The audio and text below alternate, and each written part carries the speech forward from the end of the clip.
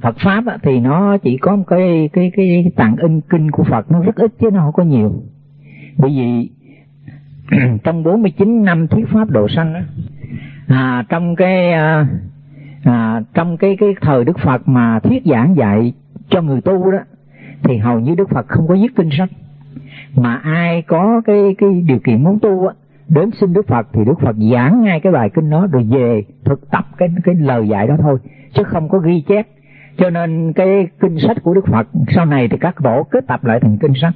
Cho nên khi mà kết tập lại đầu tiên kết tập lại không có viết nữa. Chỉ đọc lại cho tất cả à, chúng tỳ kheo đó nghe rồi thôi. Do đó người ta nhớ cái nhớ cái không nhớ chứ không phải là toàn bộ là nhớ hết đâu. À, vì vậy mà sau này kết tập lần thứ hai thì nó mới viết thành kinh sách. Cho nên người ta thêm rất nhiều. Rồi cái số mà các tổ mà kiến giải viết ra thành cái tạng kinh sách á thì thầy nói cả đống kinh sách như rừng cho nên làm chúng ta không có biết đường đi đâu. Vậy mà bây giờ chúng ta trở về những cái bài pháp mà đầu tiên của đức phật thiết á, giảng cho các vị cư sĩ cũng như các vị tỳ kheo, tăng và ni trong cái thời đó đó, thì cái số kinh đó rất ít. Nó chỉ có ừ, một cái số ít thôi chứ không nhiều. À, do vì vậy mà chúng ta đọc những cái bài kinh đó chúng ta mới thấy thật sự. Nó cô động lại cho chúng ta biết rằng có có cái bộ kinh, mà cái bộ kinh đó gọi là bộ kinh pháp cú. Những cái lời ngắn gọn mà hầu hết là những lời, lời ngắn gọn đó là dạy cái đạo đức cái nền đạo đức của đạo Phật. Sau này thì quý vị sẽ đọc được cái cái cái cái cái cái, cái kinh lời vàng là cái bộ kinh pháp cú đó. Thì các vị sẽ thấy được Đức Phật chỉ định cho chúng ta sống ngăn ác diệt ác sanh thiện tăng trưởng thiện. Hàng ngày chúng ta sống trong cái nền đạo đức nhân bản nhân quả. Để chúng ta không làm khổ mình khổ người thì đó mới chính là đạo Phật cái bộ kinh pháp cứu để nhắc nhở cho chúng ta sống được giải thoát gọi là giải thoát của đạo Phật là không làm khổ mình không làm khổ người thì cái này mới là giải thoát chứ không phải giải thoát ở chỗ thiền định hay hoặc là giải thoát ở chỗ này chỗ nợ kia bằng cách là cúng bái tụng niệm hay ngồi thiền hay niệm chú. Tất cả những cái này là người sao hòa đặt. Cho nên chúng ta tu hành mà không đúng cách á, thì chúng ta vẫn thấy không giải thoát đâu. Vậy mà bây giờ đọc lại những cái kinh sách mà căn bản nhất của đức phật á, là kinh pháp cú do từ pháp cú đó mà chúng ta suy ra, chúng ta thấy là thiện pháp, là đạo đức làm người. Nếu một người được học xong rồi mà áp dụng vào đời sống của mình là người đó có đạo đức không làm khổ mình của người. Người ta chửi mình không biết giận đâu. Mà không biết giận là giải thoát chứ gì. Thấy một cái vật đó ham muốn thì chúng ta ngăn chặn được cái tâm ham muốn. Ham muốn là đau khổ. Chúng ta không ham muốn. Chúng ta làm. Chúng ta siêng năng làm. Làm thì nó sẽ có chứ không phải ham muốn. Với một cách không có mà lại ham muốn. Đó là những cái điều kiện của đạo Phật dạy chúng ta, do mà Đức Phật chỉ định cho chúng ta biết rằng tất cả mọi sự khổ đau và cũng hạnh phúc của con người là chính do tâm của người đó, chứ không ai hết. Bởi vì tâm làm thiện thì người đó sẽ được hưởng hạnh phúc, mà tâm làm ác thì người đó sẽ khổ đau. Có vậy thôi. Cho nên chúng ta biết được như vậy là chúng ta triển khai những cái pháp của Đức Phật cơ bản nhất của nó là về phần đạo đức nhân bản, nhân quả. Nhân quả tức là hành động thiện thì chúng ta hưởng được phước, mà hành động ác là chúng ta thọ lấy quả khổ do dạy người ta biết được cái thiện cái ác. Vậy mà người ta biết được vì vậy mà người ta không có không có làm điều ác mà người ta sống thiện. Đó là những điều mà à, cư sĩ hỏi. Thì thầy sẽ chỉ cho chúng ta biết nghiên cứu. Đừng có nghiên cứu cái kinh sách mà cả rừng này nó không đem đến cho chúng ta lợi ích mà nhiều khi nó làm cho chúng ta lạc lối đường nữa. Cho nên ở đây chúng ta muốn đi vào đạo Phật là đi vào ngay cái bộ kinh bộ kinh pháp cú thầy muốn ca ngợi bộ kinh pháp cú là tại vì nó dễ hiểu và nó ngắn gọn, nó nằm ở trong cái nền đạo đức của con người. Như chiếc áo của các cư sĩ. Thì hầu hết là chúng ta phải sống đạo đức vì chúng ta một loài động vật, là một loài động vật như như muôn loài động vật khác. Nhưng chúng ta hơn chúng là chúng ta có đạo đức. Nếu một hai người đó đánh lộn, sân dẫn dữ nhau, thì hai người này là một con thú vật chứ không phải là con vật. Vì con vật thì không thể nào, không thể nào đánh lộn, không thể nào chửi lộn như vậy được nó có cái đạo đức. Nó không làm khổ mình, khổ người thì nó không thể nào là con thú vật. Cho nên đạo đức của đạo phật là đạo đức nhân bản. Nó thoát ra khỏi cái cái bản chất của thú vật. Con người chúng ta hiện còn đang mang bản chất của loài thú vật. Vì vậy mà chúng ta không học đạo đức, chúng ta là con thú vật. Con thú vật nó có thể nó trở thành ác thú. Nó có thể giết hại biết bao nhiêu loài thú khác. Con người độc lắm. Cho nên nó là con ác thú. Cho nên đức phật xác định xác định con người rất khó. Khó là gì? Con người phải có năm mươi điều thiện hiện giờ chúng ta thấy con người rất đông chứ gì? Đâu có khó đâu. Người ta sanh con người rất nhiều gì? Nhưng con người mà sống năm điều thiện, không có. Người mà không sát sanh, chúng ta thấy không có. Người mà không trộm cắp, chúng ta thấy không có. Không tham lam đó. Người mà không nói giọng ngữ, chúng ta thấy không có. Người mà không tà dâm, chúng ta thấy không có. Phải không? Người mà không uống rượu, không say xưa nghiện gặp rất là ít, rất là hiếm. Vậy mà tìm được con người mà năm cái điều thiện này mà là con người thật sự đó, thì chúng ta không thấy có trên hình trong thế gian này. Phải không? Rất khó tìm con người đó. Cho nên đức phật nói khó, con người khó khó như con rùa mù tìm bọng cây giữa biển. Có đúng không? Bây giờ chúng ta thấy con người quá đông, nhưng mà ai sống được năm điều thiện này? Không, như vậy là con người quá khó. Vậy thì hôm nay chúng ta muốn làm con người, thật sự là con người, để thoát ra cái bản chất loài động vật, thì chúng ta hãy sống năm cái điều lành này vậy thì năm cái điều lành này nó là cái tiêu chuẩn để chúng ta xây dựng được cái đạo đức làm người. Từ đó năm cái điều lành này mà chúng ta sống đúng thì chúng ta không làm khổ mình khổ người. Từ năm cái điều lành này chúng ta suy ra chúng ta trở thành một cái đạo bộ đạo đức đạo đức nhân bản. Nhân bản tức là cái gốc làm người mà. Cho nên cái đạo đức này nó mới giúp chúng ta là con người thật sự con người. Không khéo con người chúng ta sẽ trở thành là con thú vật. À, hôm nay học đạo phật thì chúng ta phải học đạo đức. Chứ đâu phải nói nho giáo mới có đạo đức đạo đức của nho giáo là đạo đức phong kiến. Nhân nghĩa, lễ trí tính, tam can, ngũ thường. Còn đạo đức của đạo phật là đạo đức không làm khổ mình, khổ người. Đạo đức nhân bản. Bất kỳ cái giai cấp nào trong xã hội đều thực hiện được cái giai cấp này, đều thực hiện được cái đạo đức này. Còn cái đạo đức của nho giáo là chỉ thực hiện cho giai cấp của sĩ phu. Chứ còn con người bình dân chúng ta, giới không nổi, vì chúng ta không thể hiểu được. Còn trái lại, cái đạo đức của đạo phật mọi con người dù là cái người cùng đinh, người tôi tớ, người hèn mạt nhất trong thế gian này, vẫn sống vì sống lợi ích cho họ.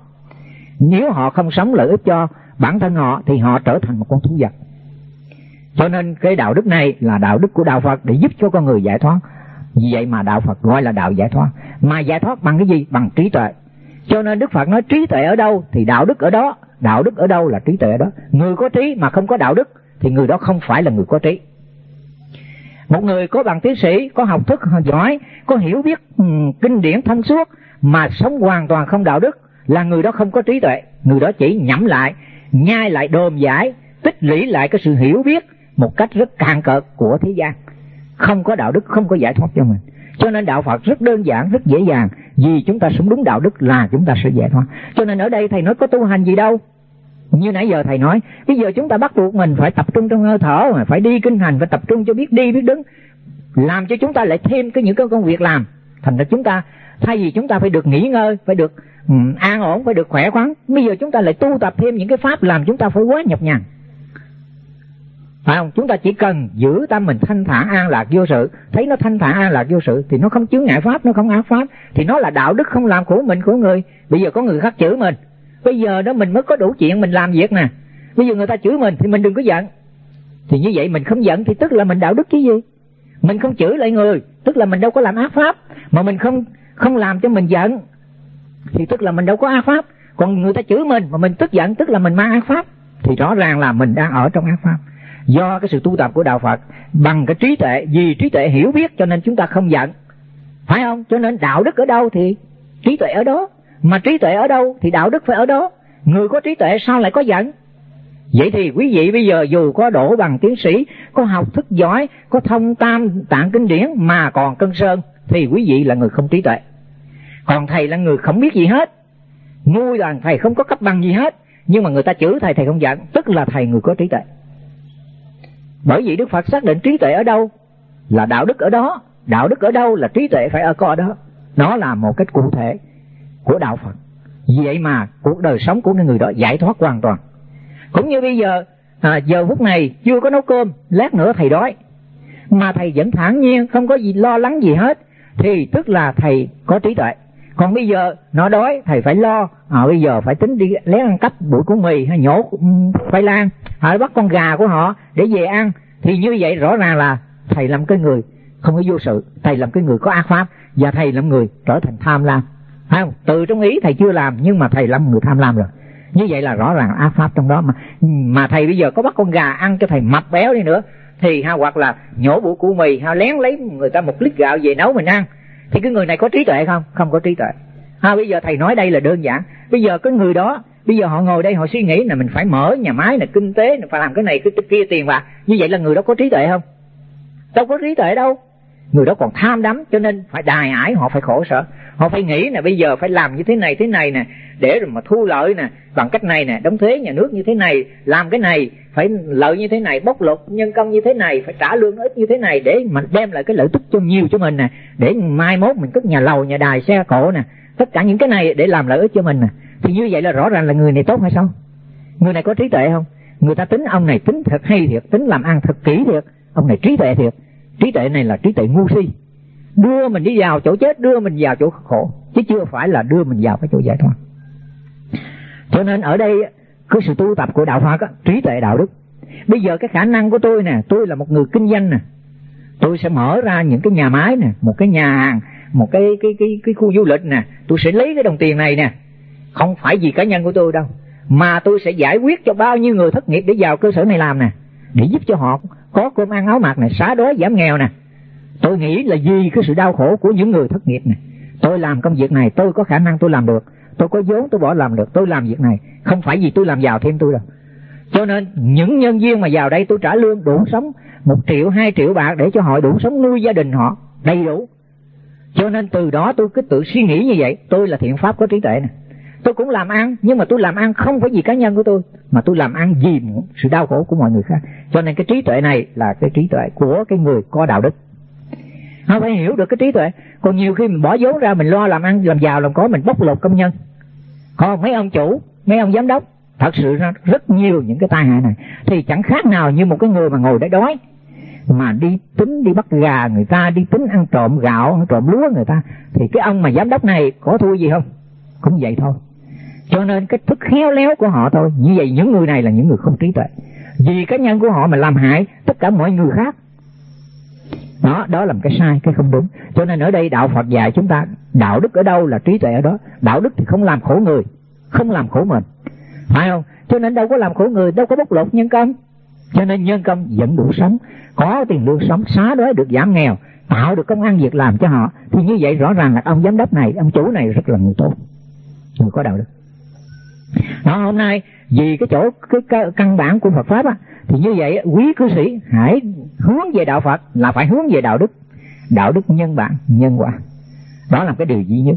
Cần phải đọc những cuốn sách mà dạy về đạo đức. Bây giờ đầu tiên thì các cư sĩ hãy đọc những cuốn sách của đạo Phật, kinh pháp cú. Là của lời của Phật nói ngày xưa mà bây giờ người ta còn nhớ được những câu đó. Bị gì nó vừa ngắn, vừa gọn. Nó là những bài kệ. Cái thứ hai là hãy họ hãy đọc. Hãy đọc 10 điều lành của Phật tức là thập thiện. Thập thiện là 10 cái điều lành. Mà cái người nào giữ trọn được 10 điều lành gọi là người trời. Nghĩa là không có cái cõi trời, cõi vô hình, mà có con người ở thế gian này sống 10 điều lành. Người đó là người trời. Còn cái người ở thế gian này mà sống năm điều lành, thì người đó là con người, thật sự là con người. Dưới năm cái điều này làm con thú vật là một loài động vật không thể nào mặc người mà lại thú, chứ không phải là con người thật sự. Cho nên chúng ta biết được trong kinh sách của Phật đã xác định được con người trời con người Atula và ừ, ngã quỷ súc sanh à, địa ngục. Tất cả những cái sáu cái nẻo luân hồi này là ngay cả cuộc sống của chúng ta đã phân được những cái giai cấp đó đã được những cái cõi đó để mà thấy được cái con người của chúng ta và những loài chúng sanh. Cho nên đừng đi tìm cái thế giới siêu hình ở đâu mà gọi là cõi trời hay hoặc là thế này mà ngay trong cõi chúng ta. Nhưng cõi trời chúng ta có được không? Chưa có người nào sống thập thiện hết. Cõi người chúng ta còn tìm chưa ra huống hồ là huống hồ là cõi cõi trời. Thật là khó vô cùng. Hôm nay đột nhiên đến đây được nghe thầy giảng về đạo đức. Phải không? Thầy đây nói đạo đức nhưng mà chưa đi sâu vào chi tiết đạo đức. Sau này có được dịp đọc bộ sách đạo đức làm người đến đây thầy xin à, các con còn hỏi thầy gì thêm nữa không? Chúng ta sẽ dừng lại đây.